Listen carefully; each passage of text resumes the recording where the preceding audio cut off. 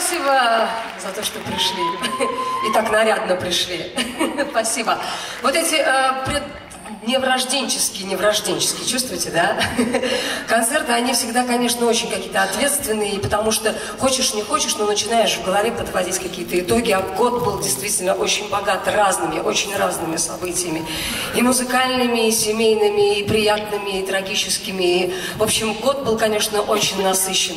И то, что мы сегодня будем вам петь, те песни, это, э, ну, как, э, некая сумма чувств, эмоций, которые включил в себя этот год. И, конечно, мы постарались э, учесть некоторые ваши пожелания, некоторые ваши заявки. Итак, Крокус, напоминаю вам, это вам не фокус.